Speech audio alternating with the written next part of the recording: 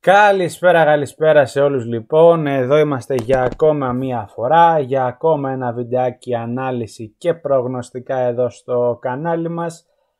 Αυτή τη φορά, όπως μπορείτε να δείτε από τον τίτλο του βίντεο, για την Ερεβάνς, για τον επαναληπτικό αγώνα της ΑΕΚ απέναντι στην ΝΟΑ, σε ένα παιχνίδι το οποίο βέβαια η αλήθεια είναι ότι το περιμέναμε πάρα πολύ διαφορετικό, αλλά μετά το πρώτο παιχνίδι τα πράγματα ήρθαν με μια περίεργη έτσι, τροχιά και πλέον η ΑΕΚ είναι αυτή η οποία είναι σε πάρα πάρα πάρα πολύ δύσκολη θέση και καλείται να κάνει την ανατροπή μπροστά στο κοινό της, μπροστά στον κόσμο της. Ε, και μιλάμε ίσως από την ε, αρχή της χρονιάς, από την αρχή της σεζόν ότι τα πράγματα πηγαίνουν πάρα πάρα πάρα πολύ ε, δύσκολα για την ΑΕΚ. Οπότε ε, νομίζω πως ε, είναι ένα μάτι το οποίο θα κρίνει πάρα πολλά αναφορικά με το μέλλον της ΑΕΚ τη φετινή χρονιά γενικότερα ε, γιατί τα πράγματα δεν μπήκαν καθόλου καλά στο προηγούμενο παιχνίδι. Όπως ε, ξέρετε ήδη η ΑΕΚ τήθηκε με ένα 3-1 μέσα στην ε, Αρμενία, στο Γερεβάν από την ΝΟΑ. Ένα σκορ το οποίο νομίζω πραγματικά στους περισσότερους έκανε τεράστια εντύπωση, αρνητική για την ΑΕΚ η οποία το είχαμε πει ότι έπρεπε να βελτιωθεί σε σχέση με τα μάτια με την Ίντερ Σκάλδες παρόλα αυτά ε, όχι μόνο δεν βελτιώθηκε αλλά έδειξε ακόμα πιο κακή εικόνα σε σχέση με τα μάτς με, τους, με την ομάδα από την Ανδώρα. Έτσι λοιπόν όπως ήρθαν τα πράγματα η ΑΕΚ καλείται στη ρεβάνς του Τσοπά Παρίνα να κάνει μια μεγάλη ανατροπή. Θα ξεκινήσουμε λίγο με το πρώτο παιχνίδι το οποίο ήρθε 3-1. Η αλήθεια είναι ότι δυσκολεύομαι να βρω κάποια θετικά στοιχεία στο παιχνίδι της ΑΕΚ. Η αλήθεια είναι ότι μπορεί να προηγήθηκε με τον ε, Λιβάη Γκαρσία. Παρ' όλα αυτά στη συνέχεια για ακόμα μία φορά μας επιβεβαιώνει ότι η ομάδα δεν μπορεί να ανταπεξέλθει μέχρι στιγμής στις απαιτήσεις και φανταστείτε να έπαιζε και με καμία πιο δύσκολη ομάδα.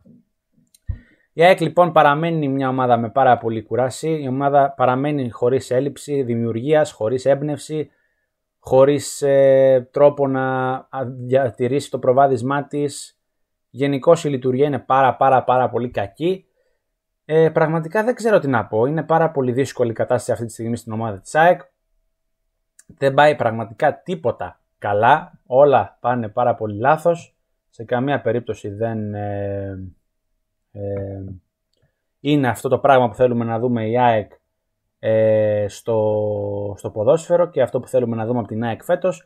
Η αλήθεια είναι ότι η αλλαγή της ηγεσίας με τον κύριο Ηλιόπουλο και κάποιες μεταγραφές κινήσεις που έγιναν θεωρώ ότι έδωσαν κάτι στην ΑΕΚ γιατί η ομάδα έπρεπε να αλλάξει. Το προχρονιά που πέρασε δεν ήταν, ε, δεν ήταν τόσο καλή. Η ΑΕΚ έχασε το πρωτάθλημα από δικά της λάθη στο τέλος και χρειαζόντουσαν σίγουρα αλλαγές. Παρ' όλα αυτά, ακόμα αυτές οι αλλαγές δεν έχουν φέρει το επιθυμητό αποτέλεσμα.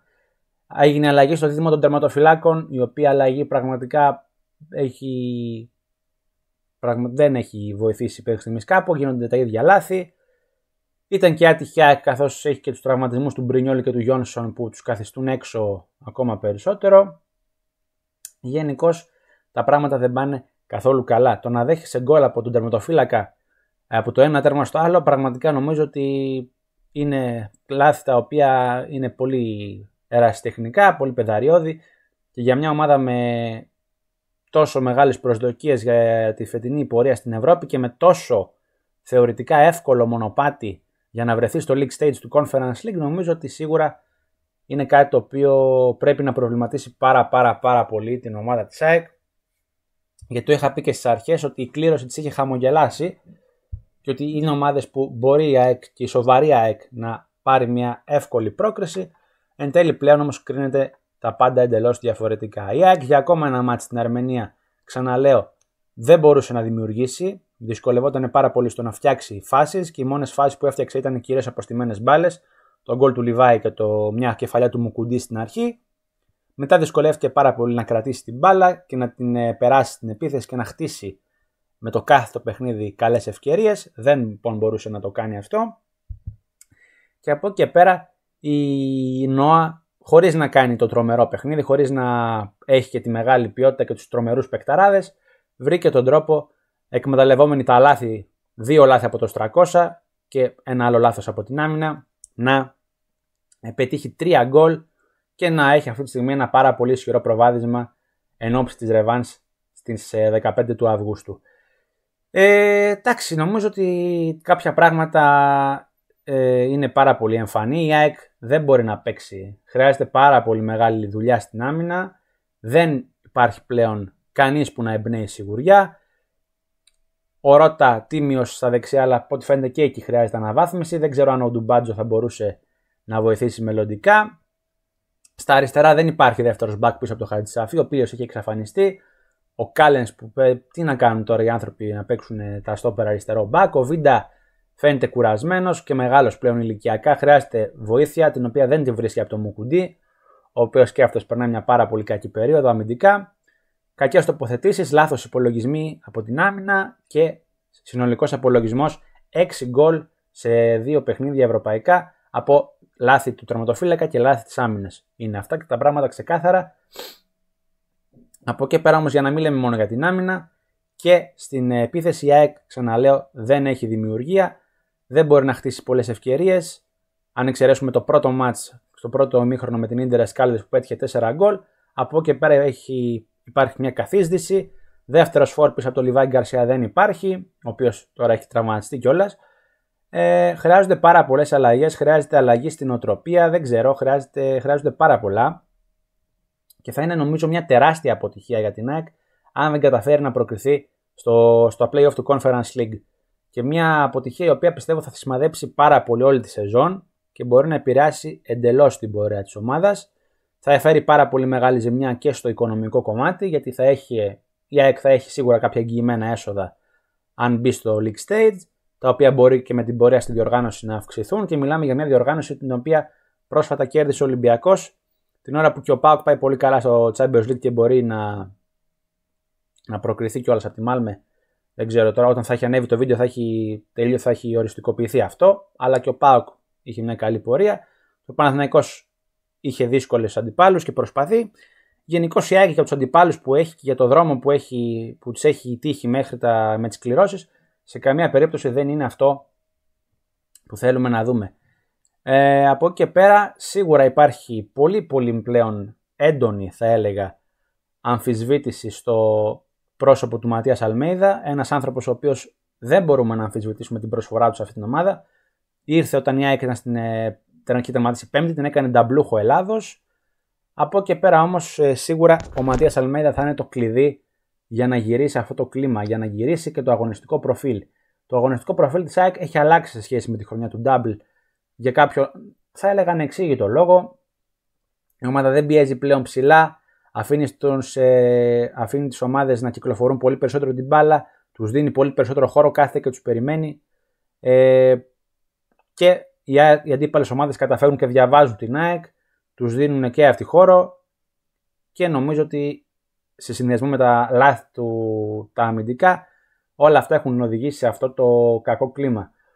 Ο Μάριος Ηλιόπουλος είναι ένας άνθρωπος ο οποίος έδειξε πολύ πίστη όταν ήρθε και γι' αυτό έκανε και μια επίσκεψη εκεί στα Σπάτα και τα έσουρε κανονικά στους παίκτες, τους επέβαλε και ένα χρηματικό πρόστιμο.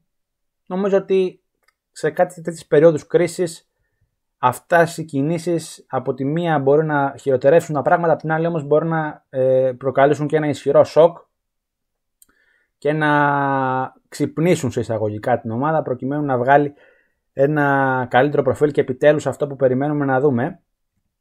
Σίγουρα έχει πέσει πάρα πολύ μεγάλη ανάλυση στην ΑΕΚ και σίγουρα εγώ πραγματικά πιστεύω ότι κάποια στιγμή πρέπει και ήρθε η ώρα, μάλλον δεν πρέπει κάποια στιγμή, πλέον έχει έρθει ε, στην... Ε, πρέπει η ΑΕΚ να κάνει αυτό που πρέπει, δεν, δεν έχει περιθώρια για, για μια ακόμα κακή εμφάνιση, πρέπει να μπει πάρα πάρα πολύ δυναμικά στο, στο παιχνίδι, δεν έχει πλέον περιθώρια να μην παίξει καλά, η ΑΕΚ από το πρώτο λεπτό πλέον πρέπει να είναι κυρίαρχη στο παιχνίδι. Δεν γίνεται αλλιώς. Δεν έχει άλλα περιθώρια. Έχει πέσει πάρα πολύ μεγάλο διάβασμα από τον Ματίας Αλμίδα και, και από το προπονητικό team. Και βέβαια να υπολογίσουμε ότι μέσα σε αυτό ότι ακολουθεί και το, και το πρωτάθλημα, γιατί ξεκινάει και Super League και η ΑΕΚ έχει να παίξει και με τον Όφη ε, εντός έδρας. Οπότε μετά δυσκολεύει έτσι κι αλλιώς και Και μέσα σε όλα αυτά τα πράγματα ε, νομίζω ότι ε, θα είναι δύσκολο, ε, ακόμα περισσότερο γιατί και ο Λιβάη Γκαρσία ε, πλέον, όπως είπαμε και λίγο πριν, ε, τραυματίστηκε και είναι πάρα πολύ ε, πιθανό να μην είναι διαθέσιμος κάτι που σημαίνει ότι ε, πρέπει να κοιτάξει και μια εναλλακτική εκεί ο Αλμέιδα. Είδαμε, είδαμε ότι όταν δεν υπάρχει δεύτερο φόρ, αναγκαστικά πρέπει να κάνεις και πειράματα και κάτι τέτοιο από ό,τι φαίνεται θα γίνει. Θα πούμε σε λίγο μια πιθανή εντεκάδα έτσι. Από εκεί πέρα ακούγονται πάρα πολύ έντονα και ότι και ο Λαμέλα θα βρεθεί στην εντεκάδα, ίσως και ο Κοϊτά. Γενικώς ο Ματίας Αλμέδα θα κάνει αλλαγές, θα αλλάξει η εντεκάδα σε σχέση με το μάτι της Αρμενία. Απ' την άλλη, δεν ξέρω κατά πόσο είναι σόφρον να αλλάξει όλη την εντεκάδα και να κάνει πάρα πολλές αλλαγές. Ε, πρέπει να χτίσει και σε, πάνω σε μια χημεία. Και γενικώς νομίζω ότι είναι κάτι το οποίο προβληματίζει πάρα πολύ την ΑΕΚ το να μείνει εκτός Ευρώπης από το 15 Αύγουστο. Και νομίζω είναι κάτι που ξαναείπα και πριν θα φέρει τριγμούς σε όλη την ε, χρονιά και θα επηρεάσει πάρα πολύ την πορεία της ΑΕΚ και οικονομικά και ενδεχομένως και αγωνιστικά. Ε, από εκεί και πέρα βέβαια ε, εγώ ξαναλέω νομίζω ότι ήρθε η ώρα επιτέλους η ΑΕΚ να μας δείξει το καλό της πρόσωπο. Το πρέπει είναι πάρα πολύ μεγάλο. Αυτό βέβαια μπορεί να προκαλέσει και ένα άγχος αλλά είναι κάτι το οποίο η ΑΕΚ, αν το βάλει στο μυαλό τους, οι παίκτες μπορούν να αποδώσουν. Είναι κάτι ομάδα από την ΝΟΑ, δεν τίθεται θέμα και η αξία της ομάδας στη χρηματιστηριακή και οι παίκτες ως ε, ποιότητα. Δηλαδή, είναι κρίμα να μην μπορεί αυτή η ομάδα να αποδώσει ενώ υπάρχει το υλικό, αλλά για κάποιο λόγο δεν βγάζει ενέργεια πλέον, δεν βγάζει ένταση. Αυτό που είπε ότι ο Λεόπουλο είναι σαν να παίρνουν χάπια ύπνου, πραγματικά κάτι τέτοιο είδαμε στο μάτς με την ΝΟΑ, στο πρώτο. Αλλά κάποια στιγμή τα χάπια ύπνου πρέπει να τελειώσουν, πρέπει να πιούν κανένα Red Bull, να, πάρουν, να βγάλουν φτερά και να παίξουν επιτέλους ε, σοβαρά. Οπότε νομίζω ότι η ΑΕΚ ξαναλέω δεν έχει περιθώρια, θα μπει και πρέπει να μπει με το μαχαίρι στα δόντια. Το ότι παίζει, το ότι ο κόσμος θα πάει, θα στηρίξει, πρέπει να πάει να στηρίξει. Χρειάζεται τη στήριξη του κόσμου η ΑΕΚ για να πετύχει μια ανατροπή. Κακά τα ψέματα θέλει δύο γκολ για την παράταση και να μην δεχτεί αρχικά. Αρχικά πρέπει να εξασφαλίσει ότι δεν θα δεχτεί γκολ. Αυτό είναι το, το πιο βασικό από όλα. Να εξασφαλίσει ότι δεν θα δεχτεί γκολ και από εκεί και πέρα να, να βρει και λίγο παραπάνω να πιέσει ψηλά επιτέλους, να κυκλοφορήσει γρήγορα την μπάλα και όλοι οι παίκτες να κάνουν αυτό που πρέπει για να ε, καταφέρει η ομάδα να φτάσει στο μεγάλο στόχο που είναι η ανατροπή. Δεν είναι, δεν είναι ακατόρθωτο, αλλά για να γίνει πρέπει να γίνει ε, ολική αλλαγή σε αυτή την αγωνιστική εικόνα της ομάδας. Τώρα, μία πιθανή εντεκάδα θα μπορούσε να είναι ε, με τον Στρακώσα κατά από τα δοκάρια, ε, με Ρότα, Βίντα, Μουκουντή και Χατσαφή φαντάζομαι στην άμυνα, αν και εγώ ξαναλέω ότι και ο Πίλιος θα μπορούσε να πάρει μια ευκαιρία το παιδί. Αν η Άι καταφέρει και προκριθεί, εγώ πιστεύω ότι αν δεν αποκτηθεί back πρέπει ο Πίλιος να πάρει ρόλο. Ακούγονται βέβαια πάρα πολύ και το όνομα του Μαζουακού. Ακούστηκε ότι τον κοιτάει η ΑΕΚ στα μεταγραφικά της. Αλλά πιστεύω ότι ο Πίλιο είναι ένα πολύ τίμιο παιδί. Δεν ξέρω αν μπορεί να σταθεί στο επίπεδο αυτό της Ευρώπης, αλλά γιατί οι άλλοι παίζουν καλύτερα θα μου πείτε. Γιατί να μην μπορεί. Οπότε θα μπορούσε να σταθεί και ο Πίλιο και να βοηθήσει. Από εκεί πέρα η λογική λέει ότι ο Σιμάνσκι θα παραμείνει στα, στα χαφ παρόλο που δεν ε, έχει πολύ καλή εικόνα. Σιμάνσκι λοιπόν στο 6, Πινέδα ενδεχομένως στο 8, με Ελίασον δεξιά, Κοϊτά αριστερά, Λαμέλα και Τσούμπερ. Εγώ αυτή θα έδινα ως πιθανή εντεκάδα της ΑΕΚ. Ο Γκατσίνοβιτς επίσης δεν είναι στα καλά του. Ο Ελίασον ενώ είναι ένας παίκτης που έδωσε πάρα πολλά πέρσι και αυτός ψιλοχάνεται στη γενικότερη κακή εικόνα της ομάδας. Ο Λαμέλα είναι παίκτης ο οποίος πιστεύω ότι θα μπει βασικός. Μπορεί να παίξει και ο Κοϊτά Κοϊτά, ο οποίος μπαίνει αλλαγή, προσπαθεί να κάνει δύο-τρία πραγματάκια, δεν του έχουν βγει ακόμα, ίσως μπει βασικός. Και με την απουσία του Λιβάη Γκαρσία και την απουσία και ενός δεύτερου φορ, καταλαβαίνετε ότι ο Στίβεν Σούμπερ θα μπει λογικά ως βασικός σεντερφόρ. Υπάρχει και μια επιλογή να παίξει και ο Άμραμπατ ως σεντερφόρ. Ο Τσούμπερ, ο οποίος έλειπε στο Euro, δεν έκανε προετοιμασία καθόλου, ήταν και τραυματίας. Ήταν και εκτός λίστας νομίζω με την Ιντερεν Σκάλδες, αν δεν κάνω λάθος. Και εκεί υπάρχει ένα αρκετά μεγάλο ρίσκο ε, για την ΑΕΚ η οποία οπότε είναι λογικό να, να δούμε Λιούμπιτσιτς ίσως και Γκατσίνοβιτς στον πάγκο σε αυτό το παιχνίδι Αλλά ξαναλέω ότι ε, ακούστηκε και το όνομα του Περέρα μήπως ξεκινήσει. Δεν ξέρω, ίσως δεν θα ήταν ε, λογικό να γίνει ολική αλλαγή στην εντεκάδα. Ξαναλέω πρέπει να κρατήσει ε, λίγο για και ένα γκορμό όσον αφορά την ομάδα. Από εκεί πέρα όμως αυτό που είναι το μόνο σίγουρο είναι ότι προσπαθούν στο προπονητικό επιτελείο να δώσουν ό,τι καλύτερο μπορεί η ομάδα και σίγουρα ξαναλέω ότι υπάρχει και ένα μάτι στο πρωτάθλημα που μπορεί να επηρεάζει και το σχεδιασμό. Δεν ξέρω. Καλύτερα θα ήταν να μην τον επηρεάζει. Από εκεί πέρα η ΑΕΚ εξακολουθεί να κοιτάει και την περίπτωση του Center 4 και του Κορέα, αλλά δεν φαίνεται το Κορέα να, ε, να φεύγει. Οπότε χρειάζεται σίγουρα ένα Center 4 η ΑΕΚ οπωσδήποτε. Ενώ από την πλευρά της ε, νομίζω ότι και αυτή ε, είναι αρκετά. Έχει ένα προβάδισμα, αλλά θα μπει και αυτή διαβασμένη σίγουρα προέρχεται και από μια ευρεία νίκη στο πρωτάθλημά της. Και σίγουρα έχουν πάρει και αυτή αυτοπεποίθηση μετά το νικηφόρο μάτς οι Αρμένοι, οπότε δεν πιστεύω ότι θα μπουν και θα κλειστούν πίσω. Έχουν βέβαια μια έτσι ασφάλεια με το 3-1. Παρ' όλα αυτά ε, θεωρώ ότι και αυτοί θα προσπαθήσουν να ευνηδιάσουν την ΑΕΚ και να την ε, πιάσουν λίγο στον ύπνο. Κάτι το οποίο όμως η ΑΕΚ δεν πρέπει να κάνει. Συγκέντρωση χρειάζεται πάρα πολύ μεγάλη καλή ανάπτυξη του παιχνιδιού και γενικώς όποια ευκαιρία παρουσιαστεί πρέπει να αξιοποιηθεί. Δεν μπορεί η ΑΕΚ πλέον να αφήσει καμία τελική προσπάθεια που θα προκύψει ε, στα πόδια της ανεκμετάλλευτη. Δεν έχει περιθώριο να σπαταλήσει ευκαιρίες και νομίζω πως ένα γρήγορο γκολ ε, θα είναι αυτό το οποίο θα ε, αλλάξει πολύ τη ρότα του παιχνιδιού. Οπότε η ΑΕΚ πρέπει να κυνηγήσει ένα γρήγορο γκολ σίγουρα. Νομίζω ότι αν βρει ένα γρήγορο γκολ μετά θα θα γυρνάει όλο, θα γυρίσει όλο το κλίμα υπέρ της, οπότε θα είναι πάρα πάρα πολύ ε, μεγάλο. Περιμένω να δούμε τι θα γίνει και με το Λιβάγκαρ, σε ξαναλέω είναι αμφίβολος και δύσκολο να παίξει. Δεν ξέρω τώρα αν θα προλάβει, έχει ένα πρόβλημα τραυματισμού, είναι αρκετά δύσκολο να προλάβει το παιχνίδι της Πέμπτης. Από και πέρα ξαναλέω ότι ε, και ο Πινέδα είναι μια περίπτωση παίκτη που από ό,τι φαίνεται θα παραμείνει στην ΑΕΚ, παρόλο που έγιναν έντονες συζητήσεις, έπαιξε και με στο πρώτο παιχνίδι. Ο παίκτης φαίνεται να είναι πολύ focus εκεί, αλλά γενικότερα η όλη υπόθεσή του έχει δημιουργήσει και ένα περίεργο κλίμα στην ομάδα, κακά τα ψέματα.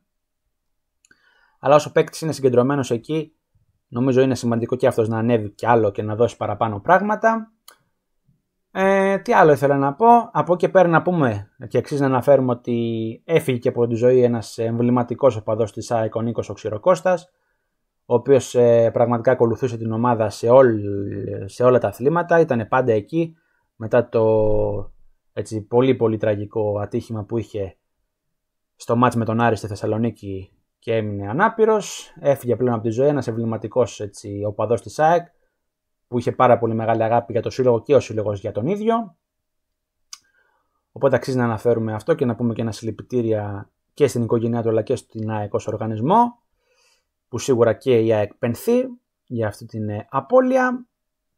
Οπότε νομίζω ότι με συγκέντρωση, με προσήλωση και με, μια, με ένα ισχυρό ηλεκτροσόκ η ΑΕΚ θα καταφέρει να πάρει την πρόκληση. Ελπίζω σε αυτό δηλαδή. Θέλω να δω την ΑΕΚ να προκρίνεται, θέλω να δω την καλή εικόνα της ΑΕΚ επιτέλους. Είναι κάτι που το χρειαζόμαστε να το δούμε γιατί θέλουμε τις ομάδες να πηγαίνουν καλά στους, ε, στην Ευρώπη. Είναι ε, ανδιαφεσβήτητο και επιβεβλημένο. Ω προγνωστικό εγώ θα έδινα ένα over 2,5 και εδώ.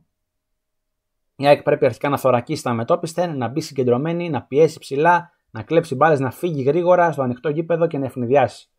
Αν παίξει όπως όπως έπαιζε η ΑΕΚ του double, πιστεύω ότι θα καταφέρει να πάρει μια νίκη με ευρύ σκορ. Αλλά το διακύβημα είναι πάρα πολύ μεγάλο. Ελπίζω στο τέλος της βραδιάς η ΑΕΚ να έχει κάνει την ανατροπή. Νομίζω ότι σε περίπτωση αποκλεισμού, ξαναλέω, θα δούμε πράγματα πάρα πολύ δύσκολα. Δεν ξέρω αν θα αμφισβητηθεί και η παραμονή του Αλμέιδα στον πάγκο. Είναι κάτι που παίζει και στο μυαλό μου ως σενάριο. Από εκεί πέρα θα δούμε πώς θα πάει με την ελπίδα ότι η ΑΕΚ το βράδυ του 15 Αύγουστου θα, είναι, θα εξακολουθήσει να είναι στην Ευρώπη και θα περιμένει να δει αν θα παίξει με τη Ρουζόμπεροκ ή με τη Χάιντουκ. Αυτά λοιπόν πάνω κάτω. Νομίζω το αναλύσαμε όλα και για το συγκεκριμένο παιχνίδι. Ε, με μια δύσκολη αποστολή που έχει να ανέβει η ΑΕΚ.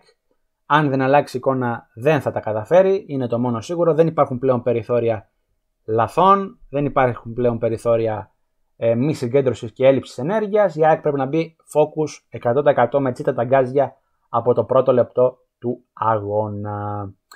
Αυτά λοιπόν από μένα και για το μάτς αυτό. Συνεχίστε εσείς να κάνετε like και εγγραφή στο κανάλι φυσικά. Θέλω να βλέπω και τα σχόλιά σας κάτω από τα βίντεο για τις δικές σας προβλέψεις, τα δικά σας πιστεύω για την ε, πορεία της ε, συγκεκριμένης αναμέτρησης και εμείς θα τα πούμε σύντομα σε νέα βίντεο και σε νέες ζωντανές περιγραφές. Αυτά λοιπόν από μένα. Καλή συνέχεια σε όλους. Γεια σας!